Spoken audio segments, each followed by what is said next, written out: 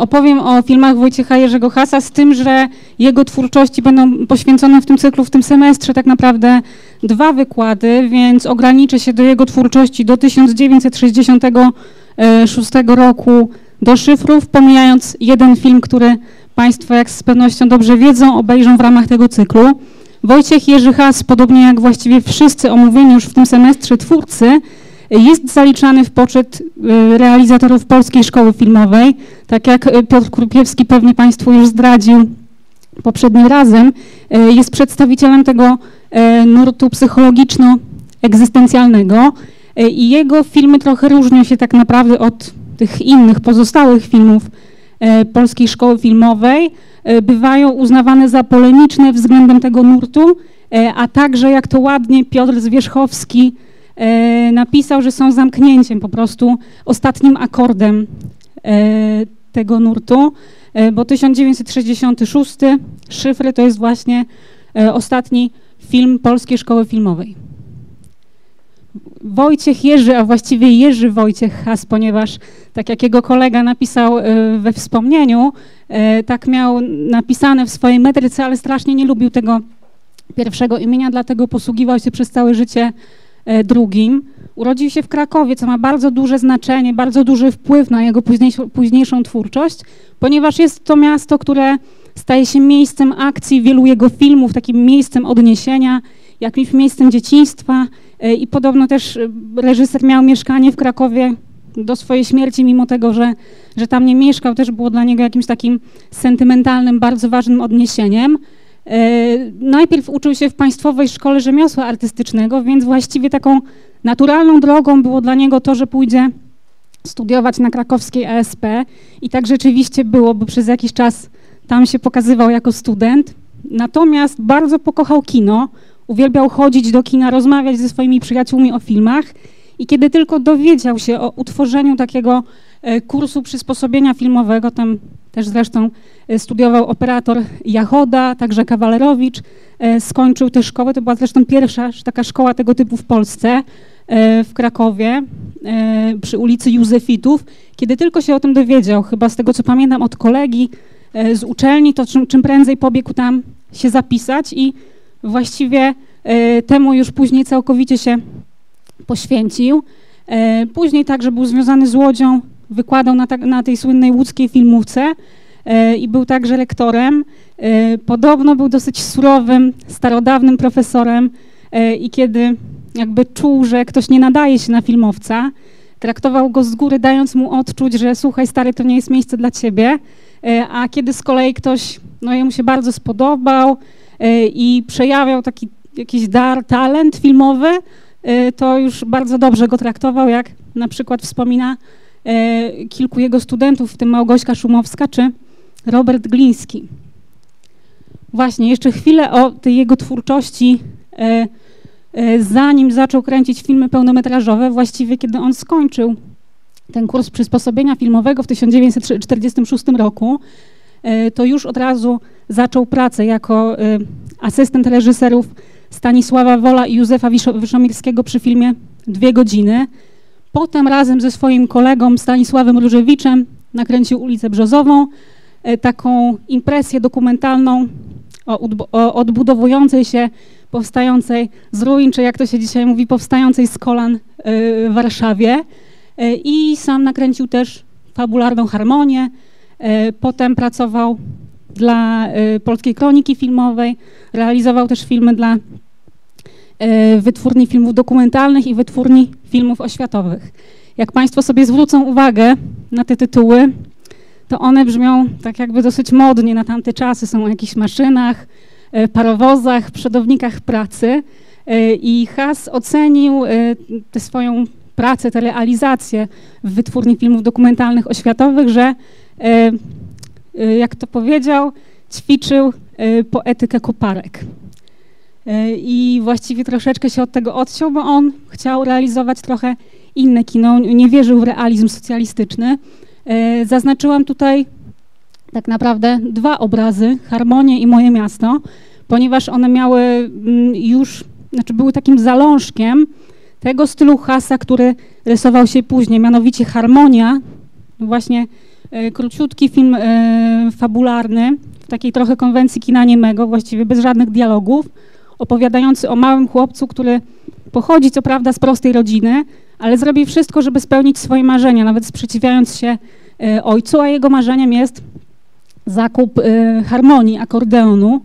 I już tutaj właściwie, ponieważ to są fotosy z tego filmu, widać cechy charakterystyczne twórczości Hasa, kreowania przez, przez niego obrazu, mianowicie taką senność, przydymienie obrazu, granie czernią i bielą, światłem i cieniem, a także tutaj, tutaj mamy antykwariat i y, pojawia się zapełnianie obrazów różnymi przedmiotami, co także było charakterystyczne w twórczości Hasa.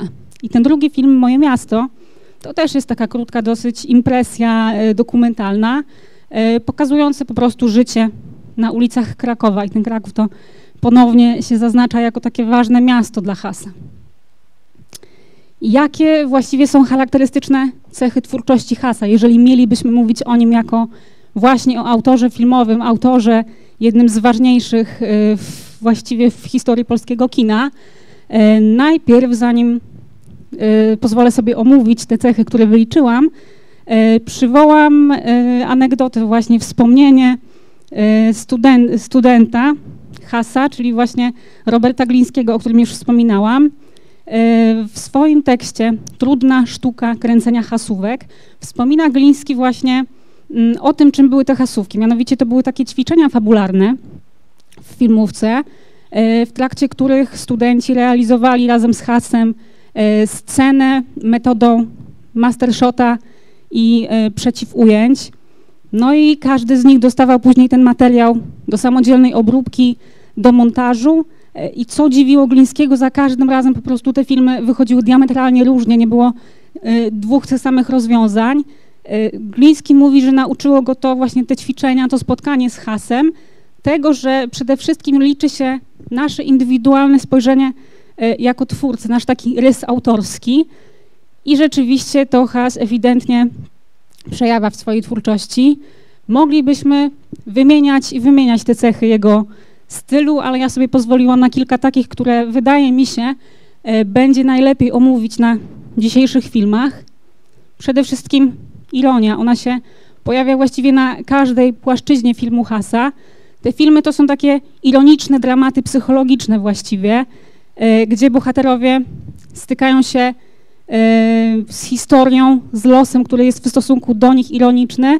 Przejawia się to na kilku płaszczyznach właściwie, na przykład w dialogach i tu e, bardzo wyraźnie widać w pożegnaniach. E, na samym początku, kiedy mamy dialog dwójki, dwojga bohaterów, Litki i Pawła, którzy ze sobą w taki pełen niedopowiedzeń sposób rozmawiają.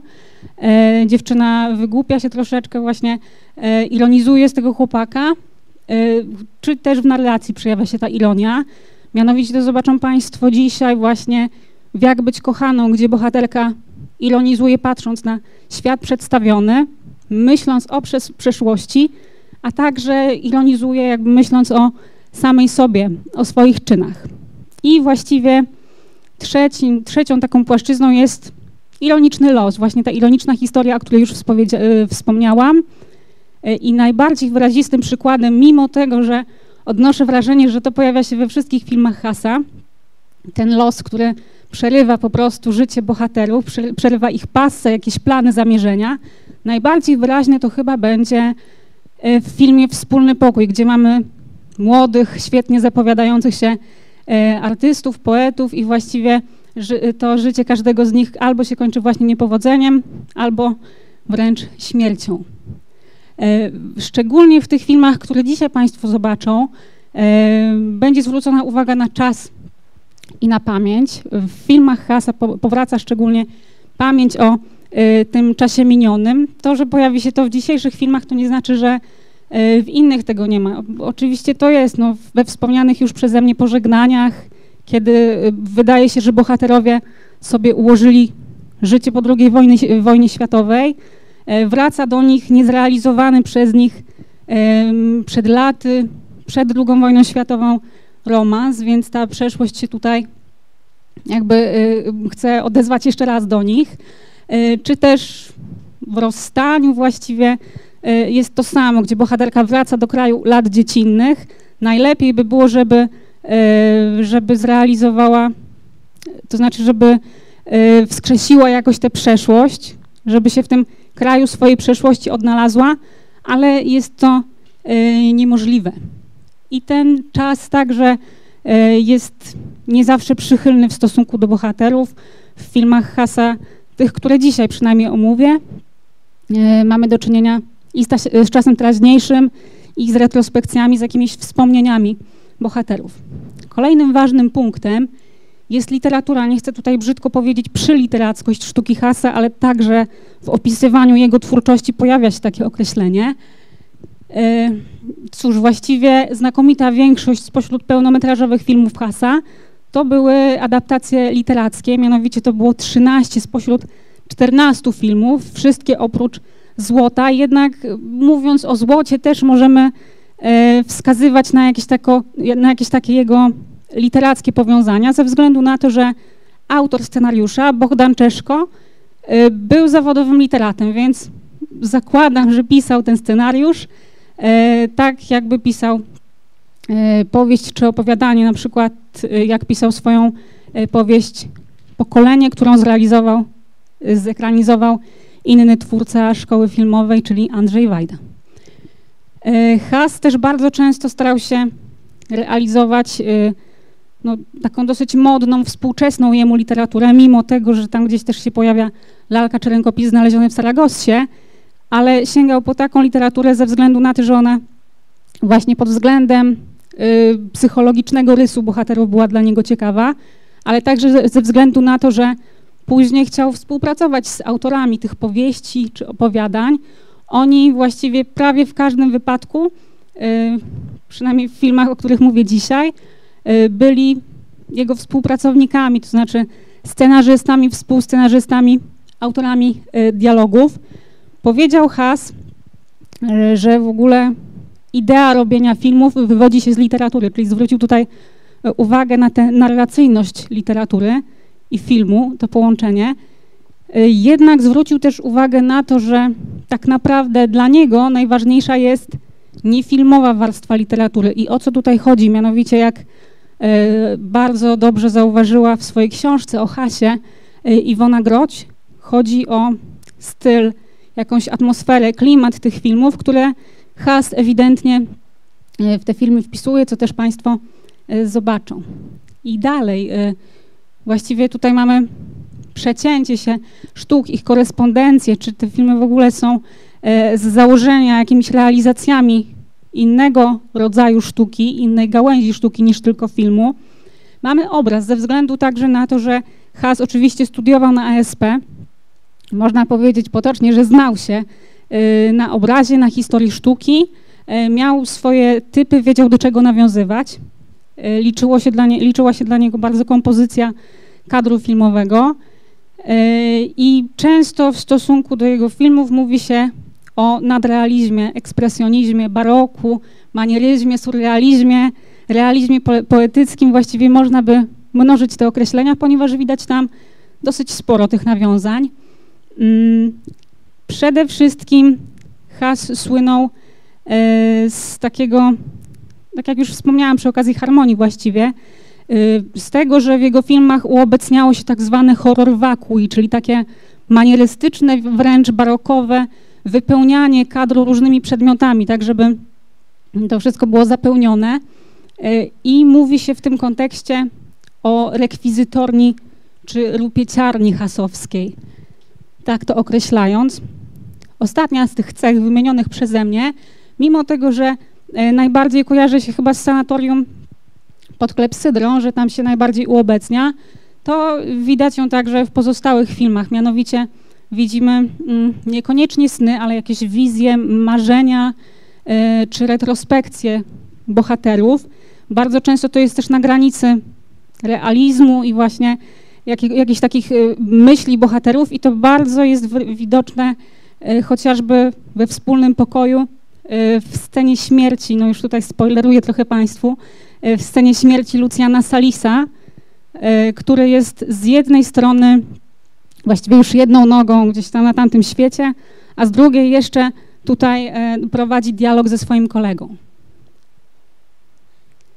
I teraz zacznijmy od pełnometrażowego debiutu Hasa, y, właściwie ze względu na to, że jego te poprzednie filmy, takie bardziej autorskie, czyli Harmonia i Moje Miasto, nie miały dobrej opinii, y, bo były zbyt poetyckie, zbyt formalne, nie miały też szerszej publiczności, y, w związku z czym ten jego debiut pełnometrażowy troszeczkę się opóźnił. Tym pierwszym właśnie filmem, który został pokazany w kinach pełnometrażowym była Pętla na podstawie twórczości, na podstawie opowiadania modnego wówczas pisarza e, Marka Chłaski, który także współpracował z Hasem tutaj e, jako współscenarzysta, jako autor dialogów właśnie. E, główną rolę, i to była pierwsza jego główna rola, zagrał Gustaw Holoubek. Tutaj też już jest sygnał poprzez dobór aktorów, że to będzie bardziej takie intelektualne kino właśnie. Gustaw Holoubek, czy Tadeusz Janczar, czy Jan Kreczmar pojawiający się także w jednym z mm, filmów, które e, później omówię. E, główny bohater tego filmu nazywa się Kuba Kowalski, czyli właściwie jest jak każdy z nas, jest every, everymanem, tak postanowił go określić Marek Chłasko. I właściwie on nie może sobie poradzić z tą sytuacją, w której jest i w której prawdopodobnie każdego z nas, każdemu z nas byłoby trudno, mianowicie cierpi na alkoholizm i nawet starania jego narzeczonej Krystyny, granej przez Aleksandrę Śląską, no, w ogóle jakoś nie umniejszają tego jego pociągu y, do alkoholu. Właściwie on nie potrafi sobie za bardzo poradzić siedząc w domu, ponieważ ten dom jest bardzo przytłaczający, nie ma tam co robić, jedyną opcją jest wyjście na zewnątrz, gdzieś tam do baru y, i oczywiście sięgnięcie po kieliszek drugi raz, czy kolejny. E, bohater staje się też właściwie więźniem upływającego czasu. Ten czas właściwie w formie tej pętli, która się zaciska na jego szyi, w jakimś takim metaforycznym sensie, e, cały czas po prostu jest. Ciągle ten czas dąży do śmierci e, za pomocą upływania, znaczy mm, tykającego, tykającego zegara, przypominając bohaterowi, że to już niedługo. Bardzo pesymistyczny jest ten film. Także mamy tutaj zwrócenie uwagi wielu, e, wielu autorów opracowań na to, że to jest ewidentne nawiązanie do ekspresjonizmu filmowego, co zauważamy w portretowaniu bohaterów, w oświetleniu właśnie, w graniu, e, w graniu czernią, w graniu e, cieniem. Ten tytuł Pętla właśnie jest bardzo ważny, nie tylko dla tego filmu, ale wydaje mi się dla całej polskiej szkoły filmowej, ponieważ ten motyw właśnie pętli, jakiegoś zamknię, czegoś zamkniętego, okręgu, Y, uobecnia się we wszystkich y, filmach Polskiej Szkoły Filmowej. Widzieli Państwo eroikę Andrzeja Munka, prawda? I tam jest na przykład taka scena, w której bohaterowie chodzą w kółku bez celu. Więc to nie jest, y, nie jest to jakby atrybut tylko tego filmu. Ta pętla jako motyw się pojawia kilkakrotnie w, w pętli. Między innymi, no, jak bohater zagląda do szklanki, tak, to, to widzi pętlę widzi koło, widzi ten okrąg. Y, I oczywiście ten film miał mieszane recenzje. Y, na przykład Juliusz Kdreński bardzo wysoko go ocenił. Były też recenzje, które y, doszukiwały się w nim jakiegoś pouczenia, moralizatorstwa, co oczywiście było błędem, bo nie chodziło to tylko, tylko o pokazanie jakiegoś antyprzykładu. Sam Haas wspominał, że po latach od premiery na jakiejś retrospektywie w Stanach Zjednoczonych. Widownia w ogóle nie chciała uwierzyć w to, że to był jego pierwszy pełnometrażowy film, że tak bardzo docenili e, jego względy no, techniczne e, i także tę treść, którą on przekazał.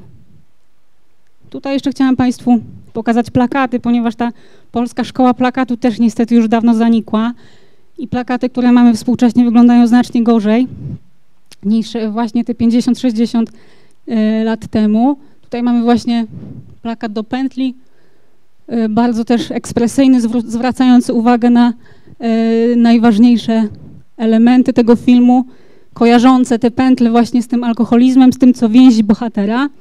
A tutaj już mamy kolejny plakat do pożegnań, kolejnego filmu Hasa, który sugeruje, że to będzie melodramat, że to będzie jakiś sentymentalny film I właśnie tak ten film został odebrany, mimo tego, że jego założenie było trochę inne. E, ten odtwarzacz, ten gramofon też się pojawi zresztą jako element horror waku i hasa w tym filmie. Tak, tutaj y, mamy już adaptację powieści Stanisława Degata, młodszej o, y, o 10 lat od tego filmu, y, która należała do tego, do takiego nurtu rozrachunków inteligenckich, podobnie jak inna, wydaje mi się trochę bardziej znana współcześnie powieść Hasa Jezioro Bodeńskie. Zresztą na Jezioro Bodeńskie nie było zgody, ponieważ też ten film miał być, znaczy też adaptacja tej książki miała być zrealizowana, ale to się już nie udało. Y, jak tutaj mniej więcej rysuje nam się akcja? Mianowicie w 1939 roku, już jakby na skraju y, tym końcowym dwudziestolecia międzywojennego, poznają się Litka i Paweł, czyli Maria Wachowiak i Tadeusz Janczar. Y, ona jest, jak mówi o sobie, fordanserką z zasadami, pracuje w klubie, właściwie trochę jest ironiczna w stosunku do tego chłopaka, który się do niej dosiada, trochę się z niego naigrywa, właściwie mówi mu, że ma na imię Litka, a może nie ma na imię Litka, a on jest z kolei takim chłopakiem właśnie z inteligenckiej, trochę, bar, trochę lepiej sytuowanej niż litka rodziny, znaczy trochę, bar, trochę dużo bardziej nawet. E, I oni w pewnym momencie, w związku z tym, że on się też nie zraża do niej, e, postanawiają po prostu zrobić coś szalonego, przeciwstawić się tym konwenancom i wyjeżdżają e, sobie za miasto. Szykuje się jakiś romans, prawda? Tutaj Has właściwie też nie widzi żadnego tabu w ukazywaniu bohaterów w takich sytuacjach sypialnianych nie ma z tym problemu. Jednak ten zalążek miłości przerywa ojciec Pawła, który przyjeżdża do, do pensjonatu, w którym oni się zatrzymali i mówi mu, że absolutnie nie może zadawać się z taką osobą, jak, jaką jest Litka. Jakoś Paweł ulega temu, potem wybucha wojna y, i oni, dzień dobry, i oni już właściwie się nie widzą do tego czasu. Przypadkowo spotykają się po wojnie, E, Litka jest już wówczas mężatką, a jej męża gra Gustaw Holoubek. Swoją drogą e, mąż Marii Wachowiak w prawdziwym świecie. E, to także był. I teraz właściwie mm, już, już w 45 bodajże, tak chyba to właśnie jest już po wojnie, z tego co pamiętam, mm, oni muszą się zastanowić, czy, czy uda im się być razem, czy brnąć w tę historię, czy kontynuować ją. E, i być może mają na to większą szansę w związku z tym, że te wszystkie konwenanse, które istniały przed wojną, już tak naprawdę upadły. Ten film nie miał szczególnego szczęścia, mimo tego, że nawet został doceniony przez publiczność, e, ze względu na inny film słynny bardzo Polskiej Szkoły Filmowej. Pamiętają Państwo jakiś inny film Polskiej Szkoły Filmowej z 58 może? Dokładnie, ten film wszedł y, jakieś dwa tygodnie do kin po Popiele i Diamencie, więc automatycznie wychodziło na to, że w obliczu takiego mitotwórczego obrazu no, nie miał szczęścia, gdzieś tam był na dalszym tle.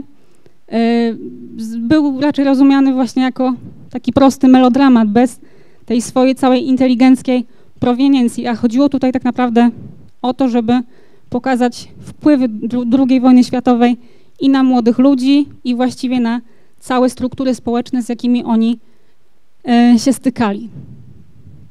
Kolejny film Hasa. Widzimy też, że on realizował te filmy e, w pewnym, w pewnym czasie, rok po roku, czyli e, niektórzy mogliby mu zarzucić, że co to jakieś produkcyjniaki, że właściwie być może nie skupiasz się na jakości realizowania tych filmów i z takimi też opiniami ja się spotkałam w niektórych opracowaniach, że te filmy E, tracą na, na swojej jakości. E, ten film jest adaptacją słynnej, bardzo kontrowersyjnej, debiutanckiej powieści Zbigniewa Uniłowskiego z 1932 roku.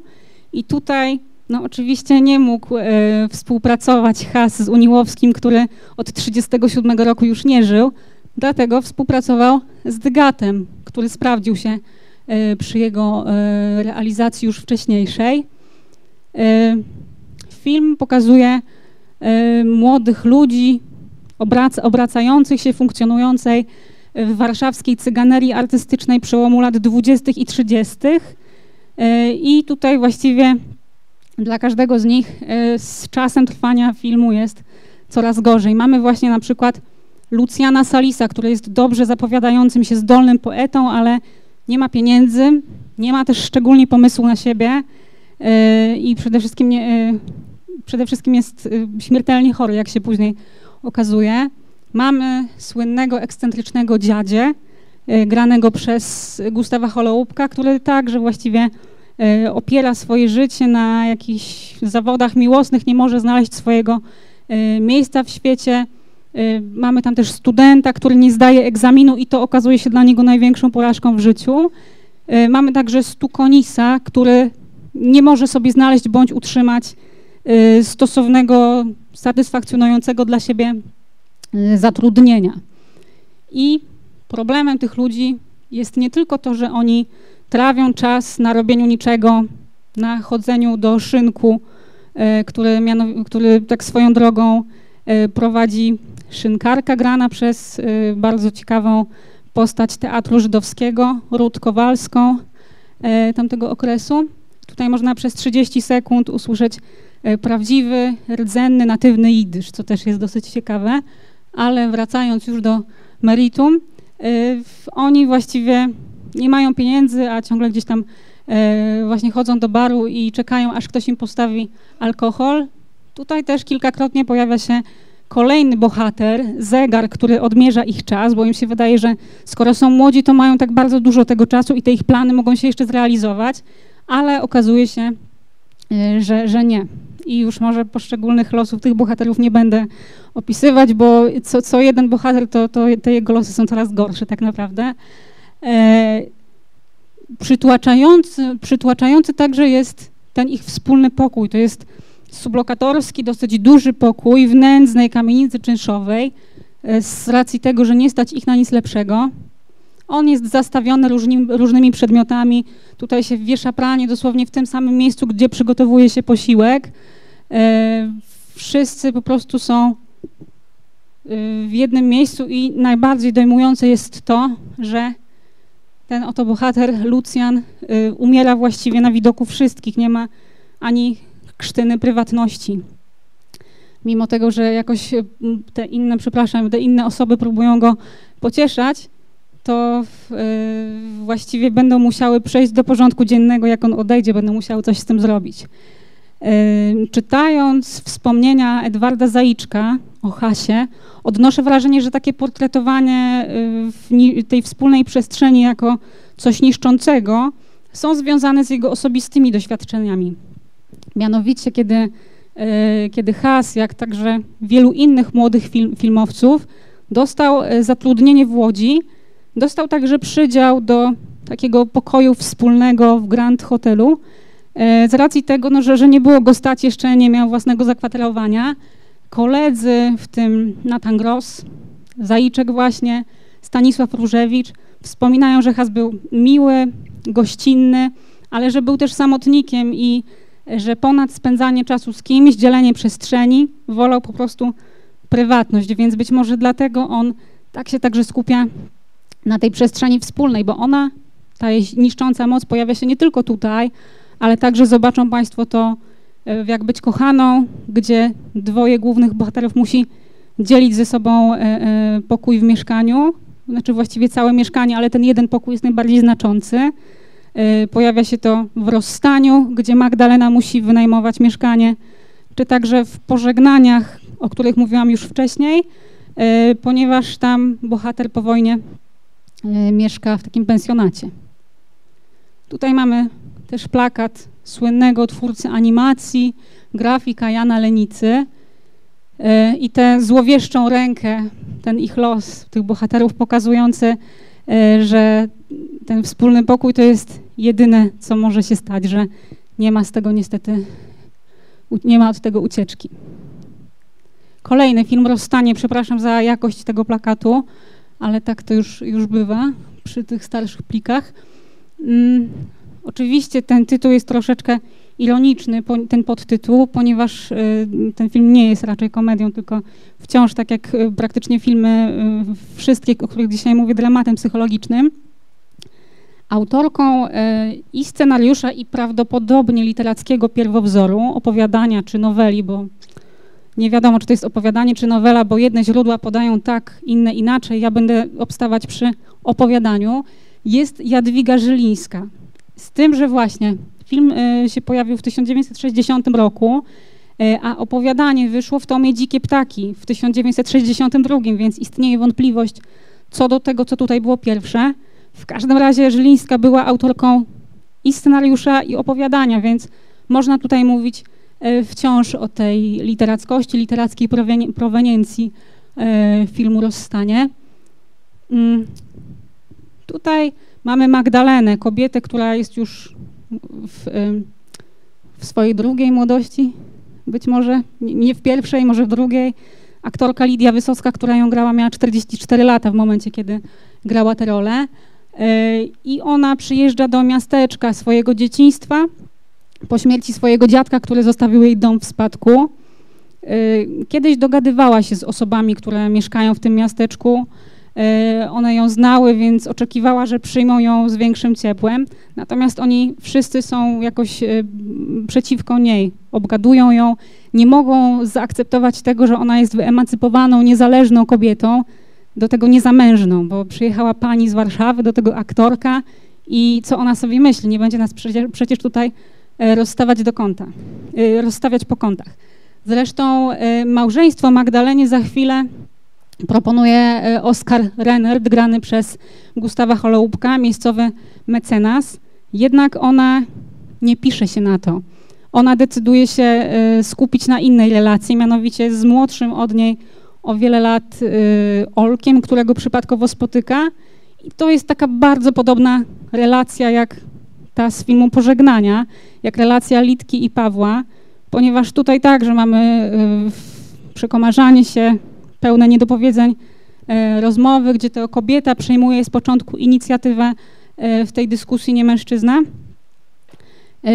I co ciekawe, Władysław Kowalski, który tutaj zagrał Olka, był o równo 20 lat młodszy od Wysocki. To znaczy w roku, kiedy on się urodził, w 36, ona grała już jedną z głównych ról w filmie y, Papa się żeni Michała Waszyńskiego i kończyła także y, Instytut Sztuki Teatralnej w Warszawie u Zelwerowicza, y, więc mamy tutaj dużą różnicę wieku tych aktorów, natomiast nie znalazłam informacji na temat tego, żeby wywołał ten film jakieś skandale w ogóle, żeby wywołał jakieś większe zainteresowanie, ze względu na to, że wydawało się ogólnie opinii publicznej, krytykom, E, że ten film po prostu jest wtórny względem, względem tych pożegnań e, i e, że no po prostu powtarza wszystkie te motywy, które tam się pojawiły. Ten sam związek, ten sam rodzaj niespełnionej relacji, więc także nie było tutaj szczególnie pozytywnych recenzji poza tą rolą Kowalskiego, który miał wówczas 24 lata. Tutaj mamy tę parę na ekranie też jest próba pokazania, może to nie jest tak wyraziste, jak to będzie chociażby w Jak być kochaną, ale też jest próba pokazania takiej y, bardzo eleganckiej, wysublimowanej przestrzeni. Ona idealnie pasuje zresztą do Magdaleny, która jest taką po prostu damą, damą z wyższych sfer, szczególnie mm, właśnie w otoczeniu osób, które spotyka na swojej drodze w tej małej miejscowości. Zdecydowanie nie jest tym kimś, kim była i Y, ciężko y, innym osobom z tej miejscowości ją zaakceptować. Tutaj mamy Kowalskiego.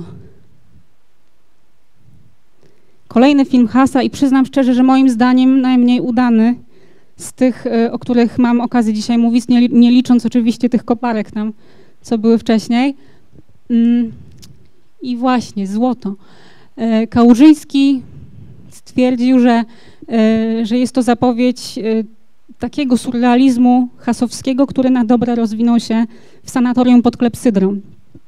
Mówiło się też w kontekście tego filmu o kinie produkcyjnym, jednak tak jak mówiłam wcześniej, Has nie wierzył w realizm socjalistyczny, więc jeżeli doszukujemy się, czy nawet się doszukamy takiego, e, takiej analogii w tym filmie, to będzie to raczej ironiczne po prostu.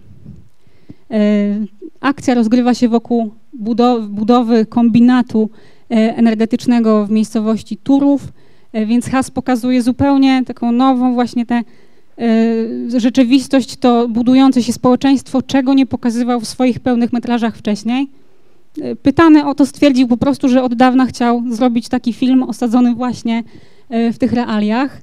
Mamy tutaj młodego chłopaka, granego ponownie przez Kowalskiego, który nie wiadomo właściwie kim on jest, właściwie on, on przychodzi jakby znikąd, tak wpływa do tego świata, do tej rzeczywistości. E, geolog, którego poznaje, Piotr, załatwia mu pracę e, i załatwia mu mieszkanie w hotelu takim robotniczym. Jednak chłopak y, skłócony ze współlokatorami postanawia opuścić ten hotel i znowu jest ta niszcząca moc właśnie tego wspólnego pokoju, o której już wcześniej mówiłam. Mm, nie wiadomo właściwie, co się wydarzy dalej, ponieważ do miejscowości przyjeżdża mężczyzna, który poszukuje tego chłopaka y, i inne postaci także nie wiedzą, w jakiej sprawie on o niego rozpytuje. Ten film nie miał szczególnie pozytywnych także recenzji. Jerzy Teplis na przykład e, mówił pozytywnie jakby o samym celu, o samym pomyśle zrealizowania tego filmu, ale nie o tym rezultacie. Natomiast, natomiast bardziej pozytywnie wypowiadał się jego bratanek Krzysztof Teodor Teplic, który mówił, e, że jest to fenomen istnienia e, na granicy realności i fantazji. Przejdźmy już do tego, co, co nas najbardziej interesuje e, dzisiejszego wieczoru. Jednak zanim powiem o samych filmach, muszę wspomnieć o pewnym dokumencie, o uchwale sekretariatu KC PZPR w sprawie kinematografii. Długa, ale bardzo znacząca dla kinematografii polskiej nazwa. E, została ona uchwalona w czerwcu 1960 roku i miała być zamknięciem polskiej szkoły filmowej. E, uchwała postulowała e, realizowanie takich filmów, które mogłyby pomóc, mogłyby być taką podwaliną kulturową na dobudowania odradzającego się, rodzącego się społeczeństwa socjalistycznego, która byłaby pozytywna, a nie tylko te smutne filmy Polskiej Szkoły Filmowej, pokazujące antyheroizm, negatyw negatywność tego świata, który jest wokół nas partyjniacy zauważali także, że tej tematyki okupacyjnej jest zdecydowanie za dużo i myśleli przynajmniej, że będą trzymali się tego, aby tej tematyki było e, coraz mniej. Potępiali polską szkołę filmową ze względu na brak pokazywania obiektywizmu, na brak ukazywania prawdy historycznej, jakieś tam odstępstwa ich zdaniem e, od tej prawdy, właśnie na ten antyheroizm, na zbytnie uproszczenia, jeżeli chodzi o historię tak twierdziła e, partia. Oczywiście to zapotrzebowanie na oglądanie tego typu filmów o, o tematyce wojennej i istniało ciągle w widzach i w twórcach, dlatego e, te filmy wciąż powstawały. Jednak e, podczas różnych wypowiedzi programowych członkowie partii mówili o tym, że powinniśmy pokazywać, jak wojna wyglądała naprawdę. Powinniśmy pokazywać pozytywne postawy Polaków, to, że y, najgorszy w tym wszystkim był nasz wróg, y, czyli nazistowskie Niemcy. y, i ogólnie, że powinniśmy zwrócić uwagę na tragiczne losy, na tragiczne dzieje Polaków i Polski, czyli odnoszę wrażenie, że to jest bardzo podobne do tego, co niektórzy członkowie obozu rządzącego sugerują dzisiaj, o czym sugeruje chociażby y, wywiad już z 2015 roku z gościa niedzielnego z Beatą Szydło. Polecam dla porównania sobie po prostu lekturę tego wywiadu. I tutaj mamy, drodzy Państwo, Czesława Wiśniewskiego, który był ówczesnym wiceministrem kultury i sztuki. Powiedział na narazie filmowców w 1969 roku następujące słowa. To później także zostało opublikowane w ekranie, jak widzimy także potwierdza już y, te słowa, o których mówiłam wcześniej, tak? Że y, nie chcemy już właśnie negatywnych postaw, chcemy prawdziwych bohaterów, y, chcemy pokazać to, co rzekomo osiągnęli Polacy, tak? Teraz przejdźmy już do filmu Jak być kochaną. nakręconego na podstawie opowiadania Kazimierza Brandysa, który tutaj oczywiście, jak Państwo się spodziewają, pisał scenariusz, także był autorem dialogów. Główną rolę kobiecą zagrała Barbara Kraftówna i mówi się, że to jest właściwie najlepsza rola w jej dorobku. 4 marca tego roku w Muzeum II Wojny Światowej odbyło się spotkanie z panią Barbarą prowadzone przez Piotra Kurpiewskiego i pani Barbara jest taką osobą, która bardzo pokrętnie odpowiada na wszelkiego rodzaju pytania. Pytana o to, jak współpracowała się z Hasem, pytana o to, w jaki sposób ona próbowała wykreować tę rolę, jak być kochaną, zasugerowała właściwie, bo nie powiedziała tego wprost, że próbowała wykorzystać jak najbardziej to, co ona odczuwa jako kobieta, to, to jak ona by się zachowała jako kobieta, y, będąc w takiej sytuacji, jak ta bohaterka. Barbara Kraftówna w tym roku kończy 90 lat, a wciąż jest bardzo aktywną zawodowo aktorką. Y, towarzyszy jej Zbigniew Cybulski. To jest w kontekście popiołu i diamentu, który Państwo widzieli, bardzo interesująca, polemiczna rola, o czym też za chwilę. E, I przede wszystkim warto tutaj zwrócić, zwrócić uwagę na to, jak prezentuje się narracja, bo ona też jest niecodzienna, jest dosyć wyjątkowa jak na tamte filmy, chociaż jest, jest oparta na dosyć prostym zabiegu, mianowicie mamy e, monolog wewnętrzny bohaterki, czas teraźniejszy e, i jej wspomnienia, które w tym monologu jakoś płyną, które ona sobie przypomina, które widzą, unaoczniają się na ekranie czyli te właśnie retrospekcje. To wygląda tak, że y, bohaterka, która jest z zawodu aktorką, y, leci na zaproszenie do Paryża, leci samolotem pierwszy raz, jest zestresowana ewidentnie, y, nie czuje się komfortowo i popija kolejne kieliszki koniaku. Wówczas przypomina sobie o tym, co działo się w okresie II wojny światowej, o mężczyźnie Wiktorze Rawiczu, którego ona kochała, którego ona próbowała także no, zachęcić do tego, żeby pokochał ją, którego ukrywała w okresie II wojny światowej w swoim własnym mieszkaniu. Mm, I jej narracja jest bardzo i ironiczna, i autoironiczna. Mianowicie ona z taką dozą kpiny opisuje rzeczywistość wokół siebie. Na przykład mężczyznę, który towarzyszy jej w podróży, to znaczy oni nie wsiedli do tego E, samolotu razem, tylko po prostu z przypadku usiedli obok siebie. E, okazuje się, że jej się kilka faktów na temat jego życia udaje zgadnąć z jego wyglądu, bo ona z taką lekką wyższością sobie o nim myśli. Jednak także e, reżyser tego filmu no, trochę kpi z bohaterki, ponieważ okazuje się, że tak sobie myśląc o tym mężczyźnie, ona jednej rzeczy o nim nie zgadła, że on po prostu niesie w sobie jakąś taką tajemnicę, y, której po samym wyglądzie nie da się ocenić. Tak jakby ona miała zrozumieć, że nie tylko ona ma taką tajemnicę w sobie, ale że także e, inne osoby mogą ją mieć. E, bohaterka także z kpiną jakby wspomina o swoim zachowaniu z przeszłości, o tym, jak ona zachowywała się w tej relacji z Wiktorem.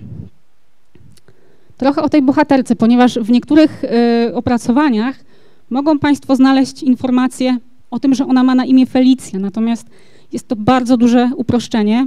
Ja będę obstawała przy tym, y, że ona do końca nie zdradza swojego prawdziwego imienia, że ona do końca pozostaje w roli. Mm, w niektórych opracowaniach ja też proponuję, żeby imienować ją jako Ofelię, Felicję właśnie, łamane.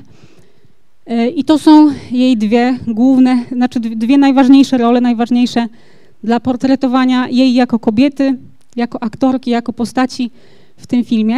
Ofelia miała być jej pierwszą ważną rolą, e, ale wybuch wojny przerwał realizację tego przedstawienia Hamleta, e, a Felicja, która rozsławiła ją na całą Polskę, to jest to jest taka przykładna gospodyni, przykładna żona, postać ze słuchowiska teatralnego, które, którego słuchają właściwie wszyscy. Te role są zupełnie różne, bo Ofelia y, to jest właściwie coś, co zapowiada wiel, wielki przełom, wielką przyszłość y, w e, karierze aktorki. Kobieta wyjątkowa, samodzielna, trochę szalona, nie zwracająca uwagi na to, co myślą inni, a Felicja to z kolei właśnie przykładna y, kobieta wpisująca się w daną sobie rolę społeczną żony, która y, przytakuje właściwie na wszystko, co powie jej mąż, co zresztą tej naszej bohaterce, jak się Państwo dowiedzą, nie do końca się też podoba, bo to jej zdaniem nie ma sensu. W pewnym momencie tego filmu do bohaterki zwraca się y, per Felicio, y, dziennikarz, który na pokładzie samolotu chce zrobić z nią wywiad. Jednak mimo tego, że on się zwrócił do niej tym imieniem, jego dalsze słowa sugerują, że zwrócił się po prostu imieniem bohaterki, która dała jej sławę. To tak samo myślę, jakbyśmy do aktora Ryszarda Cerwusa zwrócili się per Rysiu ponieważ grał Ryszarda w klanie i z tego wszyscy go znają. Wydaje mi się, że to jest e, na tej samej zasadzie. E, zresztą ona już na początku też sugeruje, na początku filmu, że będzie grała, że nie wyjdzie z roli. Mówi, że zatytułowałaby tę historię od Ofeli do Felicji, czyli jak być kochaną, czyli od tej jednej swojej wielkiej roli, znaczy wielkiej, mającej jakieś znaczenie w jej życiu, e, do tej drugiej.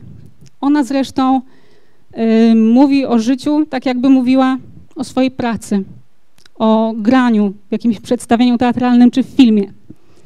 Y, też odnoszę wrażenie, że ta ironia, to, że ona nie chce się obnażyć do końca i przed sobą, i przed widzami, to jest taki mechanizm obronny właściwie.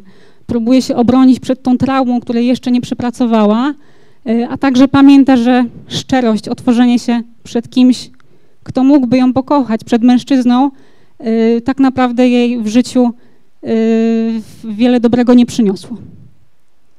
Teraz tutaj mamy właściwie taki, takie CV, Wiktor Rawicz, grany przez Zbyszka Cybulskiego, fantastyczna przed wojną postać. Aktor teatralny, bardzo charakterystyczny, który grał tylko charakterystyczne wielkie role. To jest taka postać, która odnoszy wrażenie, początkowo udaje, że niczego się nie boi, że nie boi się tego, że wybuchła wojna, że nie będzie chciał się angażować w politykę. Y, być może cały czas udaje, bo też o udawaniu jest ten film. Y, chociaż przychodzi w tym filmie moment, kiedy Wiktor jest naprawdę szczery, ale może nawet nie mogę wspomnieć, y, żeby nie zepsuć pan, Państwu oglądania tego filmu, co się wydarzy potem.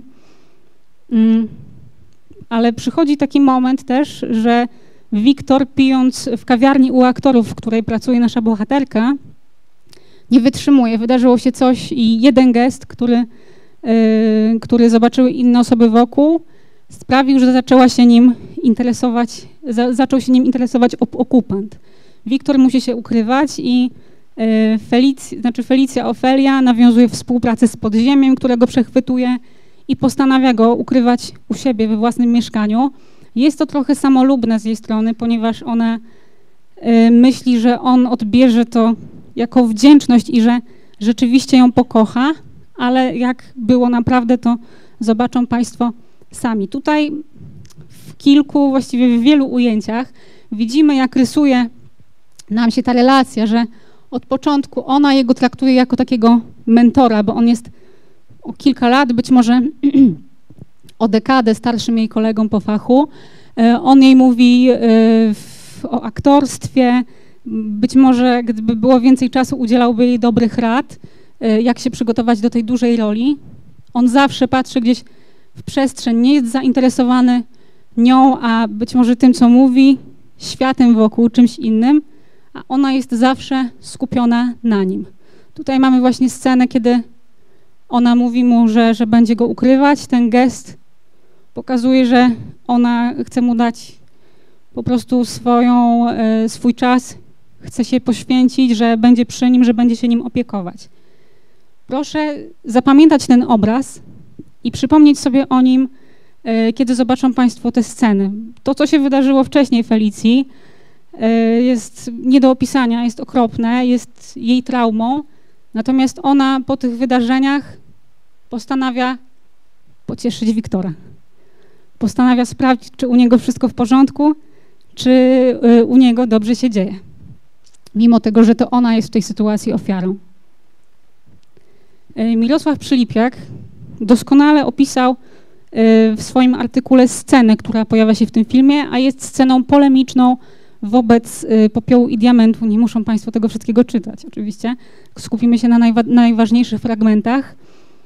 Mm, to jest oczywiście nawiązanie do tej sceny, kiedy mamy bohaterów w popiele i diamencie w barze, kiedy mamy to słynne podpalanie zniczy za y, zmarłych bohaterów. Tutaj nie ma zniczy oczywiście. Tutaj jest tak, że Ofelia Felicja przychodzi do baru i wręcz y, tłamsi ogień, jakby chciała, nie chciała nosić w pamięci tego, co było, że tutaj nie ma żadnego bohaterstwa, tak naprawdę jej zdaniem. Wkrótce zauważamy tam także y, właśnie Wiktora Rawicza, który siedzi pijany, po prostu rozchełstaną, ma y, marynarkę. Przylipiak jeszcze sugeruje, że on jest brudny, jakiś taki utyty w cudzysłowie i opowiada dopiero co poznanym osobom o swoim rzekomym bohaterstwie. Jednak on nie jest bohaterem, on zmyśla, to nie są prawdziwe historie. On przełamuje to bohaterstwo, które było e, tak naprawdę w Maćku Chełmickim e, z popiołu i diamentu. Mamy tego samego aktora, który jednocześnie tworzy i jednocześnie niszczy ten mit bohatera. Rzeczywiście tam też jest w tle leci piosenka e, Czerwone Maki, pieśń patriotyczna, e, jednak tutaj już nie śpiewa jej młoda, piękna sopranistka, tylko e, śpiewają ją niskie głosy, tak jakby zupełnie zmieniała się także waga tej pieśni. Ta scena nie jest, nie jest złośliwością w stosunku Wajdy czy Popiołu i Diamentu, raczej jest komplementarna, pokazuje dwie możliwe opcje, dwie możliwe historie takiego samego, podobnego bohatera, młodego człowieka, który e, był kimś jeszcze w czasie wojny, a pokazuje, e, gdzie mógł zajść. Tutaj mamy e, wyimek z tej sceny gościnnie Kalina Jędrusik, prywatnie żona Dygata, tak wyglądał Wiktor, który jest tutaj wręcz karykaturą samego siebie. To już nie jest nonszalancja. On wręcz opada z sił. Te osoby, które go słuchają, niby trochę słuchają z zainteresowaniem jego popisów, e, ale też trochę z niego się naigrywają. I bardzo ważne też jest jego imię, które nosi, które e, właściwie oznacza zwycięstwo, jakąś chwałę i w towarzystwie tego szlacheckiego nazwiska brzmi jeszcze bardziej dostojnie ale było, było zupełnie inaczej. Los tego bohatera poszły w zupełnie innym kierunku niż mogłoby się wydawać. W tym filmie ironia nie jest tylko figurą retoryczną, jest raczej czymś, jakby taką, taką cechą, y, założeniem, z którego wypływa cały film. Ta ironia jest po prostu, tą ironią jest cały film podszyty i ona czasami prześwieca przez tkankę y, fabuły. Pojawia się chociażby w takich sytuacjach, jak mamy największą kanalię tutaj, gestapowca, e, a gra go aktor Wiesław Gołas, który znany jest z kabaretów, Koń czy Dudek, e, znany jest e, ze swoich ról komediowych, więc to, co Państwo zobaczą, scenę z jego udziałem jest wręcz, wręcz nie do uwierzenia, że taka postać została tutaj obsadzona w tej roli. Właściwie sam tytuł Jak być kochaną brzmi jak tytuł jakiegoś poradnika. Jak upiec najlepsze ciasto, jak najlepiej zapleść warkocza. I to jest, odnoszę wrażenie, ironiczne pod kątem tego, że bohaterka robiła wszystko rzeczywiście, co jej się wydawało, e, e, żeby mogła zrobić, żeby zostać pokochaną, ale jest wręcz na odwrót. Jedyną miłość, jaką ona otrzymuje w tym filmie, jest miłość e, słuchaczy jej audycji radiowej, Tutaj e, akurat jak sobie wyszukiwałam fotosów do Jak być kochaną, to mi się często pojawiał ten tytuł Jak być kochaną babcią. Później się okazało, że Irena Rybczyńska nazywa się zresztą Rybczyńska Holland i jest mamą Agnieszki Holland i Magdaleny Łazarkiewicz. Tak, tak to wyszło. Właściwie już na początku filmu bohaterka nam sugeruje, że, że będzie udawała, nakłada makijaż niczym maskę. Zresztą też to, co widzieliśmy wcześniej, Chciałam jeszcze y, wrócić do wcześniejszego kadru, to jak ta bohaterka wyglądała, proszę zwrócić uwagę. Ona tutaj y, wyglądała świeżo, promiennie, młodo, miała jasne włosy, nosiła się w jaśniejszych barwach. Teraz y, już nosi tylko ciemne barwy, jakby nosiła żałobę po tej swojej przeszłości. Kryje się pod mocnym makijażem i ma ciemne włosy, czyli nie jest już tą samą osobą, którą była kiedyś. I jeszcze wspólna przestrzeń, która się pojawia. Y, prawdopodobnie niektórzy z Państwa zauważą, że jeden polski film, bardzo znany, który nawiązuje w swojej warstwie wizualnej do Polskiej Szkoły Filmowej, film ostatnich lat, również nawiązuje do tego okna, ale też nie mogę zdradzić więcej, żeby nie zdradzić, jak to się skończyło. Y, to jest pokój wspólny właśnie y, w mieszkaniu Felicji. Tutaj leży pełno różnych przedmiotów. On jest ciemny, przytłaczający. Wiktor wręcz nienawidzi tego pokoju, bo on mu się y, kojarzy z tym, z tym jakby, y, co mu daje Felicja, z tym, co go zamyka przed, y, przed światem. On zaczyna ją obwiniać o to, że, że właściwie nie może wyjść na zewnątrz, nie może robić nic, co robił do tej pory. Wiktor przez cały czas chce podchodzić do okna, otwierać okno po to, żeby usłyszeć inne osoby, żeby usłyszeć, co się dzieje na świecie, a także po to, żeby e, wpadło do tego ciemnego pokoju światło, którego tu nie ma, światło jakiejś nadziei e, i żeby móc oddychać, bo taka relacja z jedną osobą przez kilka lat naprawdę może, może mhm. może przytłaczać. Dalej, teraz sobie powiemy o kolejnym już filmie, który Państwo zobaczą dzisiaj. E, o szyfrach, które zostały dosyć wysoko ocenione podczas posiedzenia e, komisji kolaudacyjnej. E, między innymi Czesław Petelski bardzo świetnie się wypowiadał o tym filmie. Czesław Petelski, legenda miejska głosi, że profesor Kornacki próbuje właśnie pisać książkę o tym reżyserze. I tutaj znowu pojawia się Zbigniew Cybulski w roli Maćka. Przypadek, że znowu Maciek? Jan Kreczmar w głównej roli Tadeusza, Barbara Kraftówna, która mm, zagrała w poprzednim filmie, który omawiałam, tutaj także pojawia się na krótko, ale ta rola też okazuje się e, dosyć ważna.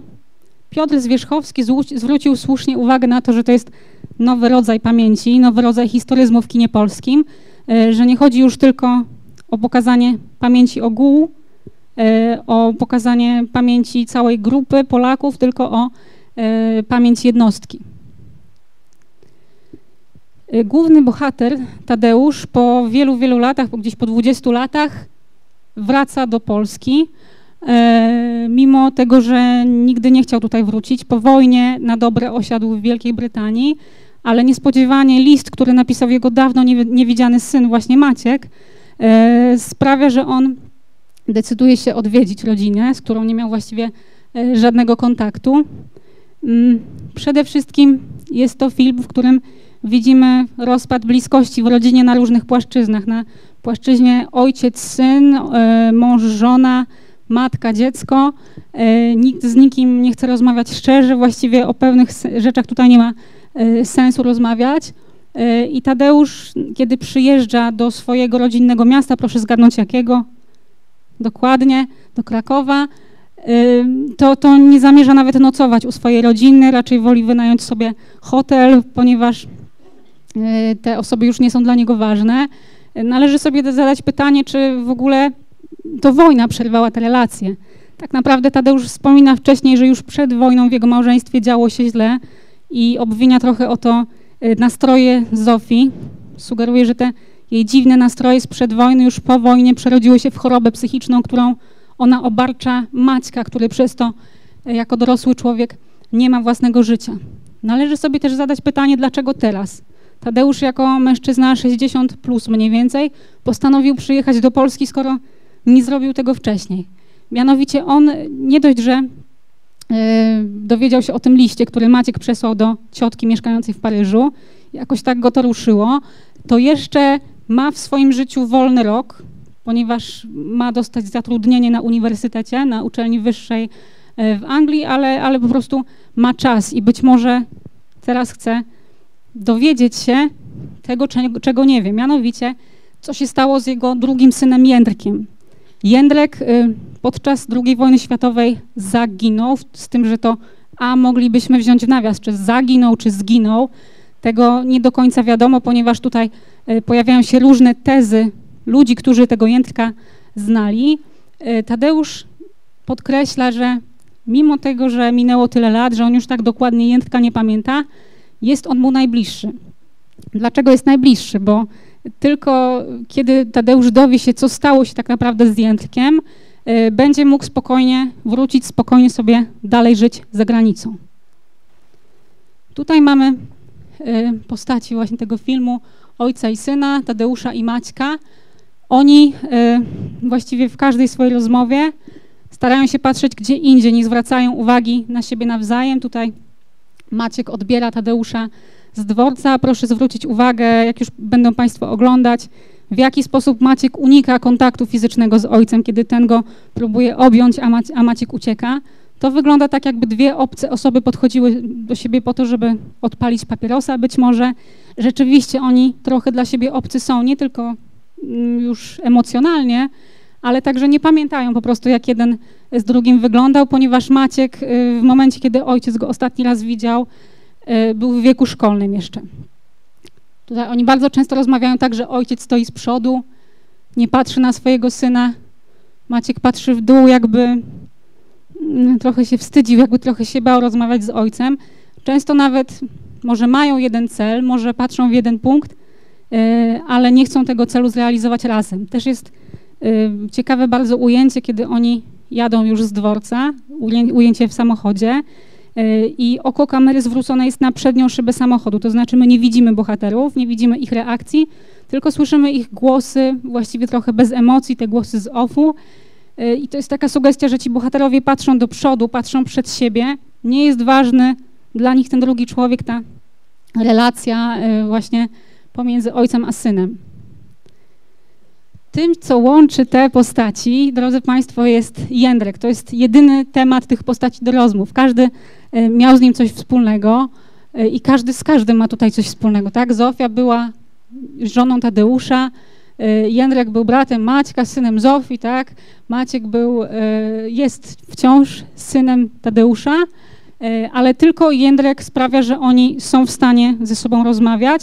Tadeusz porusza właściwie w większości tylko temat Jędrka, prosi Zofię i Maćka, żeby mm, powiedzieli mu, z kim jeszcze mógłby rozmawiać, żeby rozwikłać te tajemnice, co się stało z Jędrkiem, a y, właściwie te strzępki informacji, ponieważ każdy, do kogo y, przyjeżdża Tadeusz, daje mu tylko strzępki informacji, y, są takie, że być może to okrutna prawda, y, że Jędrka zabili swoi, że zabiło go pod ziemię, przez to, że on chciał ich zadenuncjować ze względu na strach, ze względu na jakąś zemstę.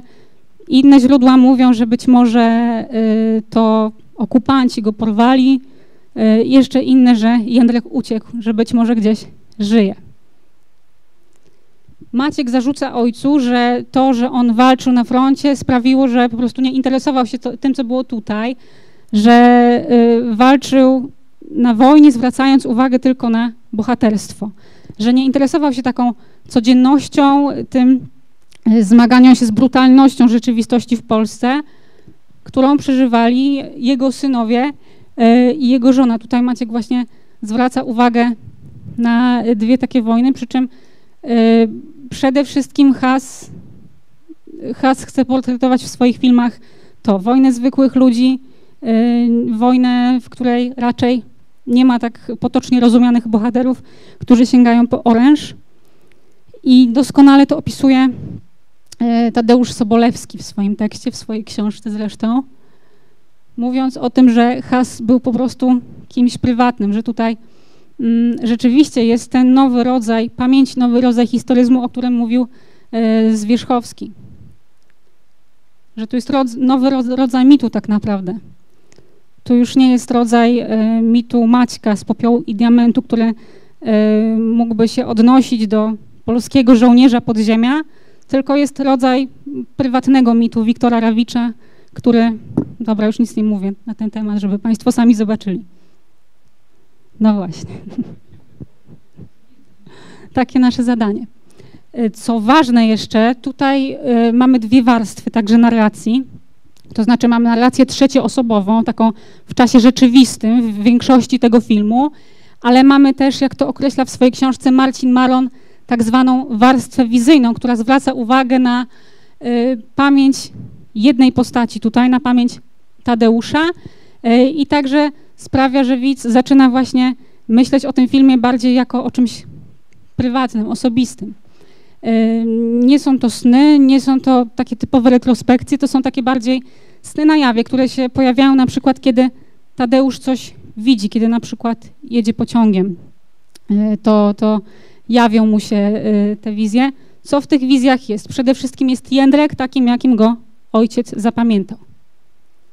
I jeszcze jeden klucz do zrozumienia i tych wizji, i tego filmu, proszę, żeby Państwo zwrócili uwagę podczas tego, e, podczas seansu. Ja rozumiem, że nikt z nas nie ma tutaj w pamięci całego Angelego słowackiego, ale proszę zwrócić uwagę przede wszystkim nie na dosłowne znaczenia, jakie przekazuje ten tekst, nie na dosłowne znaczenia, też jakie przekazują e, sceny w filmie, ale o głębiej ukryte w nich sensy. Te sceny odnoszą się, te sceny wizyjne, mam tutaj na myśli, odnoszą się do czasu przeszłego, do ludobójstwa. E, chodzi tutaj bardziej o ocenienie moralności jednostki, poczucia moralności jednostki w okresie II wojny światowej i tego, jak doświadczaliśmy wojny nie jako ogół, tylko właśnie jak każdy, e, każdy indywidualnie te wojny, tej wojny doświadczał i tę wojnę rozumiał. Tutaj jeszcze, Szanowni Państwo, tylko kilka przykładów lektur, które można, e, do, po które można sięgnąć, jeżeli chcemy dowiedzieć się czegoś więcej o Hasie. To jest tylko kropla w morzu tak naprawdę, tylko kilka pozycji. Na stronie tej ogólnopolskiej akademii znajdą Państwo z podziałem na rodzaj źródła, książki, artykuły, wywiady, e, całą bardzo długą listę e, tekstów o Hasie. Nie mam nic przeciwko, jeżeli ktoś chciałby właśnie zrobić zdjęcie temu, ale też tak jak mówię, to jest tylko trochę. E, cóż, dziękuję Państwu za uwagę, życzę udanego seansu.